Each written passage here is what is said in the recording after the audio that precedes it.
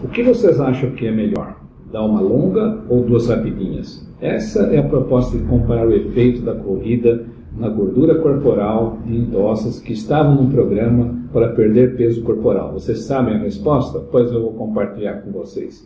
Elas foram divididas em dois grupos.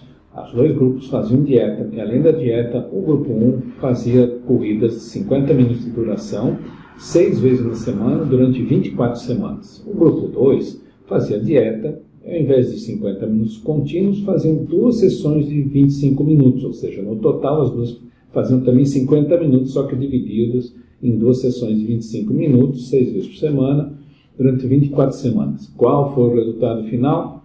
Incrível. O grupo de duas corridas de 25 minutos conseguiu uma diminuição bem maior de peso corporal, uma diminuição bem maior no índice de massa corporal e também da circunferência de abdômen de cintura.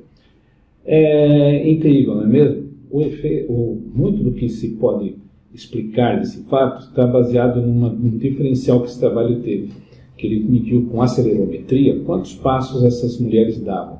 E chegou-se à conclusão que o grupo de 25 minutos duas vezes conseguia, nesses 25 minutos duas vezes, dar muito mais passos do que aquelas mulheres que faziam 50 minutos uh, de uma vez só. E isso provavelmente explicou a diferença. Daí que a gente pode concluir que, que é melhor então fazer duas rapidinhas do que uma longa. Um abraço.